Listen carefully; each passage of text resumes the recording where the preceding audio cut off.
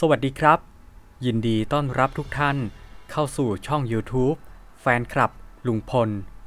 ฝากกดไลค์ กดติดตาม กดกระดิ่ง เพื่อเป็นการแจ้งเตือน เวลามีการอัปเดตข่าวสารใหม่ๆ ด้วยนะครับ ความคืบหน้าจากทางช่อง YouTube MU9 Channel ซึ่งเป็นคลิปการสัมภาษณ์ทนายของลุงพล ด้วยทนายของลุงพลได้พูดไว้ดังนี้ครับ ท่านทนายกล่าวไว้ว่า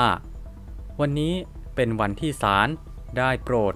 นัดตรวจพยานหลักฐาน ทั้งฝ่ายโจทย์ ฝ่าย โจทย์ร่วม และจำเลยทั้งสอง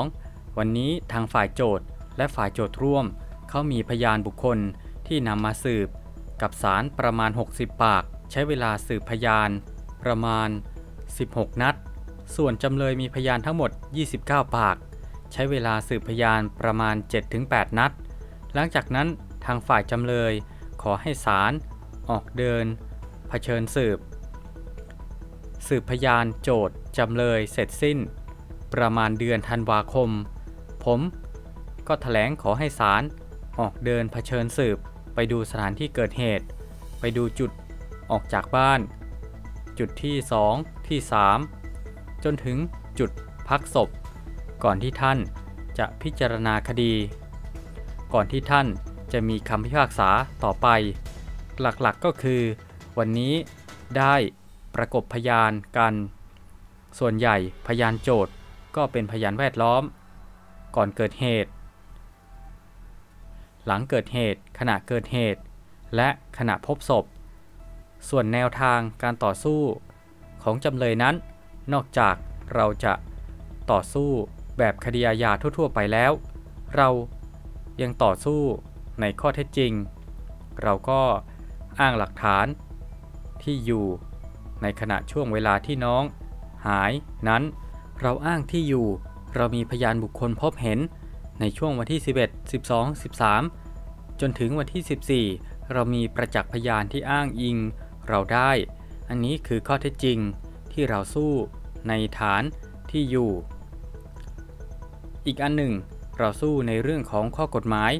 คือการได้มาซึ่งพยานหลักฐานอะไรต่างๆ แล้วก็การสอบสวน คดีนี้เป็นคดีพิเศษคือไม่มีประจักษ์พยาน เราทำลายหลัก เราทำลายล้าง หลักนิติวิทยาศาสตร์ของฝ่ายโจทย์ด้วย ก็เป็นข้อต่อสู้หนึ่งที่จำเลยทั้งสอง เอามาต่อสู้หักล้างพยานโจทย์ พยานนิติวิทยาศาสตร์ที่ผมแยกได้ มี 2 ประเด็น ประเด็นเกี่ยวกับเครื่องซินโครตรอน มันก็เป็นเครื่องมือที่ขยายให้ทราบถึงวัตถุ ที่ตรวจสอบว่าเป็นของใครอย่างไร ส่วนเส้นผมที่ไปพบในรถยนต์จำเลยนั้น มาได้อย่างไรจะมีวิธีการเชื่อมต่อกันอย่างไร อันนี้ก็เป็นข้อเท็จจริงที่เรานั้นต้องหักล้าง นอกจากนี้แล้ว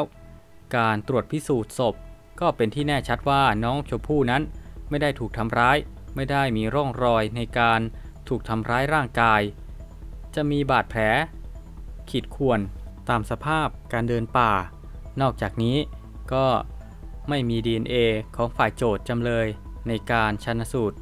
ศพน้องชมพู่ อันนี้ก็เป็นการทำลายล้างทางนิติวิทยาศาสตร์ การที่ฆาตกรจะทำร้ายกันสักคน โดยหลักต้องมีการมีความโกรธแค้นเป็นการส่วนตัว ความคืบหน้าล่าสุดจากทางช่อง YouTube เจ้าปู่แชนแนลได้พูดไว้ดังนี้ครับ ถ้าเกิดว่าโกเต็กยอมรับออกมา ด้วยกระบวนการสอบสวน สืบสวนเนี่ย ไม่ใช่คุณยอมรับออกมาเสร็จปุ๊บ อะ จบ ไอ้นี่ ยอมรับเรียบร้อยแล้ว ใส่กุญแจมือปุ๊บ ตัดสินโทษปุ๊บ เข้าคุกปุ๊บ จบ มันไม่ใช่อย่างนั้นนะครับ ถ้าสมมติว่า ไอ้นี่มันยอมรับ มันยอมรับเสร็จเรียบร้อย ยังไม่ติดสินโทษนะครับ ต้องเอามันไปสอบสวน สืบสวน ให้มันทำแผนว่ามันอุ้มยังไงทำน้องยังไง แล้วก็สอบปากคำเพิ่ม ว่าทำคนเดียวจริงเหรอทำยังไงมีใครร่วมไหม ถ้าบอกว่าไม่มีแผน เกิดนู่นเกิดนี่นั่น มันทำคนเดียว มันจะทำยังไง อุ้มยังไง สมมติว่าคุณบอกว่า ท่อนไม้มาฆ่า ผมเป็นคนตัดเอง ผมยอมรับเลย ผมเป็นคนตัดเอง โอเค คุณยอมรับว่าคุณตัดเอง ยังไม่ได้ตัดสินโทษคุณนะ ยังไม่ได้จำคุกคุณนะ เอาคุณไปสอบถามก่อน พอคุณตัดเสร็จ คุณเอาไม้ลงมายังไงเหรอ คุณทำแผนสิอ้อผมไม่ทำแผนแต่ผมจะเล่า บอกให้ฟัง ผมตัดเสร็จ ผมก็อุ้มท่อนไม้ ลงมาข้างล่าง เห็นมันเป็นไปได้หรอวะ ท่อนไม้ใหญ่ๆ ขนาดนี้น่ะ มึงคนเดียวจะอุ้มลงมาได้หรอ มันมองความเป็นไปได้ ความเป็นไปไม่ได้ ที่คนคนนี้คนเดียวจะบอกว่า ยอมรับว่าตัดคนเดียว แล้วอุ้มท่อนไม้ลงมาคนเดียว มันเป็นไปไม่ได้ มันต้องมีมากกว่าหนึ่งคน ถึงจะแบกไม้ลงมาได้ เหมือนกัน ถ้าสมมติว่ามันยอมรับว่ามันทำคนเดียวในคดีของน้อง เขาจะสอบปากคำว่าทำยังไง มันทำคนเดียวไม่ได้ แสดงว่ามึงยอมรับ ผิดคนเดียว แต่ว่าพอมึงเล่าเหตุการณ์ เหมือนมึงทำคนเดียวไม่ได้ มันต้องมีมากกว่าหนึ่งคนอยู่แล้ว ดังนั้น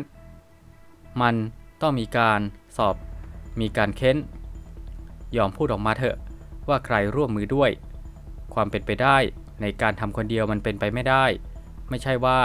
ยอมรับผิด สั่งจำคุก มันไม่ใช่นะ มันต้องมีการสอบเพิ่ม ความคืบหน้าจากทางช่อง YouTube หลังบ้านทนายลุงพล ได้พูดไว้ดังนี้ครับ ในช่วงเย็นนะคะ ลุงพลกับป้าแตน พี่นาทีก็ได้ไปรับพวกเราที่สนามบิน พาเราไปทานข้าวมื้อเย็น ท่านทนายและก็ทีมงานได้ไปทานข้าวมื้อเย็น ร่วมกันกับลุงพลป้าแตน ก็ดีใจเห็นลุงกับป้าต้อนรับเราอย่างเต็มที่ ต้องขอขอบคุณนะคะ เราทานข้าวกันเสร็จแล้ว เรากลับมาพักที่โรงแรม วันนี้เราเปลี่ยนที่นอนกันนะคะ เรามานอนพักที่โรงแรม ท่านทนายและทีมงานก็ได้ไปประชุมกัน ประมาณ 2 ชั่วโมงได้ ประชุมดูเอกสาร ตรวจสอบเอกสาร ความถูกต้อง ความแม่นยำ ว่าถูกต้องแม่นยำหรือเปล่า ตรวจอีกรอบ ก่อนหน้านี้ก็ตรวจสอบ มาจากที่บ้านแล้ว พอมาถึงเราก็อยากให้เต็มร้อยจริง ๆ ก็มาตรวจสอบเอกสาร กันอยู่ประมาณ 2 ชั่วโมง ตอนนี้เอกสารเราก็พร้อมแล้วจริง ๆ พร้อมที่จะใช้วันที่ 8 ทางหลังบ้านทนายลุงพล ก็ขอขอบคุณ FC ที่มาจากลุงพลป้าแตน จากพี่นาที จากพี่เมเดสตอรี่ที่เข้ามาติดตาม ดีใจที่ FC เข้ามาให้กำลังใจ แล้วก็เข้ามาพูดคุย ด้วยกัน ทางทีมงานและทางทนายจะช่วยลุงพลกับป้าแตนอย่างเต็มความสามารถ ความรู้ความสามารถที่ท่านมี ก็เอาออกมาใช้ในงานนี้ทั้งหมดเลย อยากเห็นคนที่มีความสุข พ้นจากความทุกข์ อยากทำในสิ่งที่ถูกต้อง ทางเราก็พร้อมใจ เต็มใจช่วยลุงกับป้า FC สบายใจได้ เราก็จะสู้ให้ถึงที่สุดช่วยเพื่อนมนุษย์ด้วยกัน ช่วยคนที่มีความเดือดร้อน ทุกข์ใจ ก็เมื่อช่วงเย็นก็ได้มีโอกาส คุยกับป้าแตนในคลิปที่ผ่านมาป้าแตนก็บอกว่า ตอนแรกไปคุยกับท่านทนาย ท่านทนายก็ยัง ไม่ตกลงที่จะเข้ามาทำคดีนี้ ก็ได้ดูอาการไปก่อน พอเห็นลุงพลป้าแตนเหมือนเดือดร้อน ก็ต้องยื่นมือเข้ามาช่วย ตอนนี้เอกสารของเราก็พร้อมแล้ว เสร็จสมบูรณ์แล้ว พร้อมที่จะใช้ในวันที่ 8 นี้ FC สบายใจได้ ท่านทนายและทีมงานก็ช่วยลุงพลป้าแตนให้สุดความสามารถ พอเรามีความทุกข์เราก็อยากจะหาที่พึ่ง ความคืบหน้าล่าสุด จากทางช่อง YouTube คอยบอกเจ้าแล้ว ได้พูดไว้ดังนี้ครับจำได้ไหมครับว่า เมื่อวานมีเหตุการณ์ที่ผมเคยเล่าให้ฟัง มันออกไปหาน้าอีกคนหนึ่งหนูผีออกไปเพื่ออะไร ความลับแตกแล้ว ออกไปหาน้าอีกคนทำไม ฟังนะครับ เมื่อวานมีการเข้าไปเจรจากัน เข้าไปเป่าหูน้าคนนั้น ที่ผมบอกไปว่าหนูผีเข้าไปหาน้าผู้หญิงคนนั้น มันหลุดออกมา เข้าไปเป่าหู เรื่องอะไร เข้าไปเป่าหู ใส่ร้ายลุงกับป้า ว่าลุงกับป้าเนี่ยกำลังจะโยนความผิดให้กับมัน เป็นไงล่ะครับ ลุงกับป้าโยนความผิดให้กับน้า หนูผี มันเป่าหูคนนั้น แต่น้าคนนั้นน่ะ ด้วยความร้อนรนกลัว เป่าหู ว่ารู้ว่า รู้ไหม น้องหาย หน้าบ้านมึงเนี่ย พ่อพระเอกกับแม่นางเอกโยนความผิดให้กับมึง เพราะอะไร เพราะน้องหายหน้าบ้านมึง มึงจะไม่เห็นเลยหรือ นี่แหละครับ เป็นความที่หนูผีเข้าไปเป่าหู เพื่อให้น้าคนนั้นน่ะ ออกห่างไปจากป้า ก็ไม่เป็นไร ก็ดูกันไปยาวๆ เกิดการเป่าหูภายในครอบครัว เกิดการวางแผน กันภายในครอบครัว เพราะกลัว ตอนนี้น่ะมีหลายช่องหลายคนที่ คนสงสัยคอยจับผิด รู้พฤติกรรมแล้ว ทุกคนตาสว่างแล้ว ทุกคนในครอบครัวนี้ มันเดินเป่าหูทุกคน มันพยายามเดินไปหานะคนนั้นเพื่อเจรจาเรื่องอะไรแหละครับ ไปใส่ร้ายเป่าหูด้วย ร้อนรนกลัวความผิดมาหาตัวเอง เพราะสิ่งที่ตัวเอง พูดในไลฟ์สด ทุกๆคน มันจะหลุดออกมา หามันเองนะ เตือนมึงทำอะไรเขารู้หมด อย่าคิดว่าเขาไม่รู้ในสิ่งที่มึงทำระยำไว้ ขอเตือนไว้เลย เบาได้เบานะ มึงพูดออกมาแล้วว่าน้องหายหน้าบ้านนะ มึงหลุดออกมา อันนี้น่ะก็ไปว่ากันในชั้นศาลแต่มึงก็ไปใส่ร้ายลุงกับป้าว่า ป้าจะไปโยนความผิด ให้กับน้าคนนั้น มันจะไปโยนความผิดได้ยังไง กูถามหน่อย มึงอย่าไปหาเพื่อนสิ มึงอย่าไปจูงเขาสิน้าก็ต้องมีความคิดของน้าโตแล้ว ควรมีความคิดให้รอบคอบกว่านี้ ฝากถึงน้าด้วยนะ ไม่ไปเชื่ออะไรหนูผี น้าต้องเป็นตัวของตัวเราเอง น้าคิดว่าน้า ไม่ทำผิด น้าไม่ต้องร้อนรน เมื่อเช้า น้า ทรหา ป้าน่ะเรื่องอะไรน้ารู้ใช่ไหมว่ากำลังจะเกิดอะไรขึ้น ถ้าน้าไปฟังหนูผี ฝากน้าออกห่างหนูผี เพราะมันจะหาเรื่องซวยมาหาถึงน้า